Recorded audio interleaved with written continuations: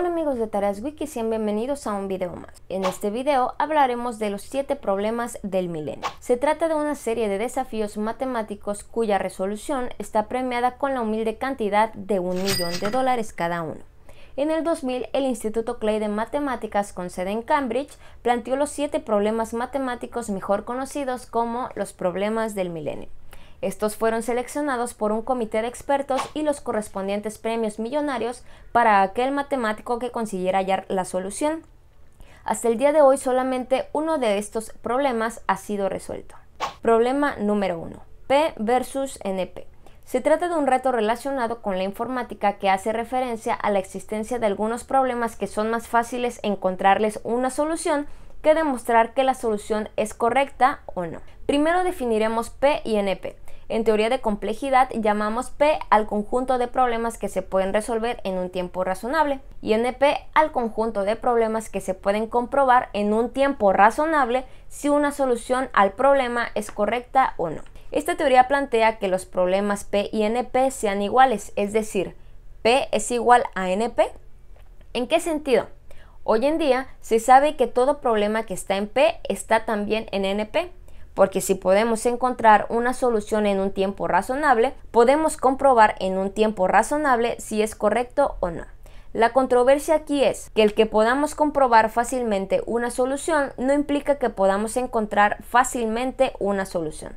Es decir, no hay constancia de que algún problema NP no sea P. Por ejemplo, si nos dan este conjunto de números, menos 2, menos 3, 15, 14, 7, menos 10, 9, menos 13, y nos preguntan, Puedes escoger algunos de ellos de tal forma que la suma de sus elementos sea cero. Si agarramos unos cuantos podemos comprobar fácilmente si es solución o no. Basta con sumarlos y ver si dan cero. Pero encontrar los números que cumplan eso no es tan fácil y rápido. Los expertos confían en que no hay algún problema NP que no sea P, pero de momento nadie ha sido capaz de demostrarlo. Problema número 2. La conjetura de Hodge. Está relacionada con la geometría algebraica y algunos matemáticos aseguran que este problema es el más complicado de explicar a la sociedad. Algunas propiedades de estos conjuntos comenzaron a ser aplicadas a cosas que no tienen una interpretación geométrica. Una de ellas es lo que se conoce como un ciclo de Hodge. En concreto, la conjetura de Hodge es que todo ciclo de Hodge es también combinación racional de ciclos algebraicos, es decir, de los ciclos asociados a subvariedades analíticas cerradas. Problema número 3. La hipótesis de Riemann. Algunos números naturales no tienen ningún divisor aparte de sí mismos y el 1. Estos números son el 2, 3, 5, 7, 11, 17, 19, 23, 29, etc. Se llaman números primos y desempeñan un importante papel en la matemática pura y sus aplicaciones. La distribución de estos números en el conjunto de los números naturales enteros no obedece ninguna lógica. Sin embargo, Riemann supuso que existe una función matemática para esta consecuencia que se calcula mediante la denominada función z, que describe la distribución de los ceros no triviales. Esta función tiene dos tipos de ceros, los ceros triviales, que son todos los números enteros y pares, y los ceros no triviales, cuya parte real siempre está entre 0 y 1. La hipótesis de Riemann afirma que todos los ceros no triviales tienen como parte real un medio. Hasta ahora esto ha sido verificado para los primeros 10 trillones de ceros no triviales de la función. Sin embargo, la comunidad matemática concluyó que no se trataba estrictamente de una demostración. Problema número 4. La teoría de Jane-Miles. El problema tiene relación con la física cuántica y debe determinar de manera teórica la explicación de Jan Miles, que estableció las bases elementales de la materia y en cuya versión cuántica describen partículas sin masa llamadas gluones.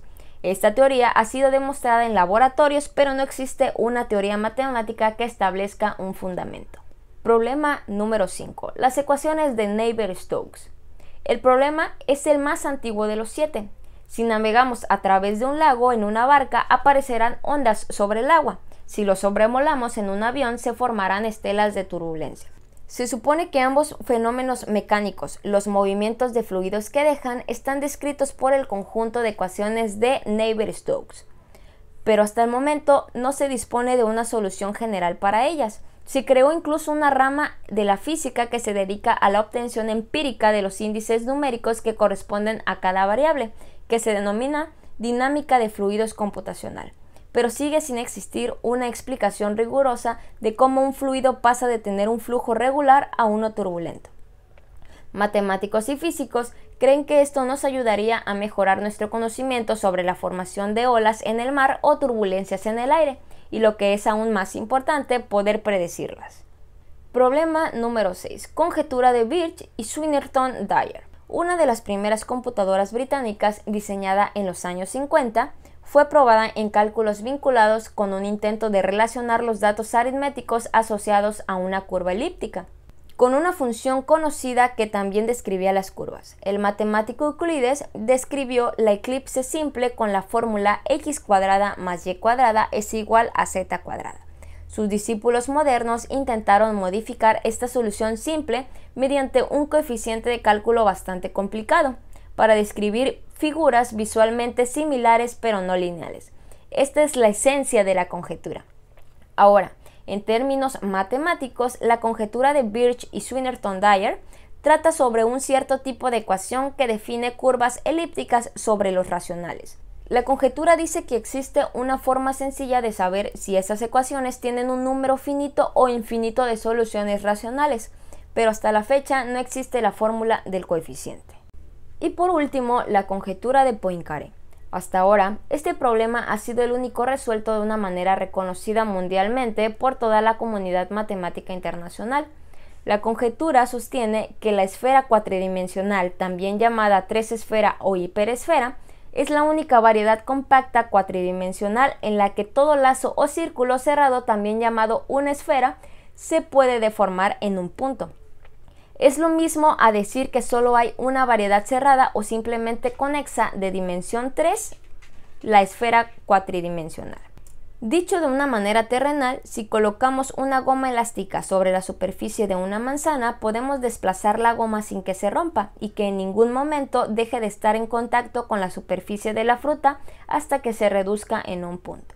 Pero si intentamos colocar la misma goma sobre la superficie de una rosquilla, no podremos conseguir que esta cinta se deslice hasta encogerse en un punto sin romper la cinta o la rosquilla. Se suele decir que la superficie de la manzana es un cuerpo esférico y conexo, mientras que la superficie de la rosquilla no lo es, pero nadie pudo demostrarlo matemáticamente antes que Grigory Porelman en 2002 científico ruso autor de la solución, quien sorprendió a todos rechazando el premio del millón de dólares y la medalla Fields considerada el Nobel de las Matemáticas, y se retiró de la vida pública. En una entrevista dijo que la monetización del logro es el máximo insulto a las matemáticas. También afirmó que si la prueba es correcta no necesita otro tipo de reconocimiento. E irritado declaró, no me interesa el dinero ni la fama, no quiero estar en exhibición como un animal en un zoológico. ¿Y ustedes? ¿También habrían rechazado un premio de un millón de dólares? Y bueno amigos de Tareas Wiki, hasta aquí el video de hoy. Y si ustedes quieren ganar un millón de dólares, simplemente resuelvan un problema del milenio. Recuerden darle like y suscribirse.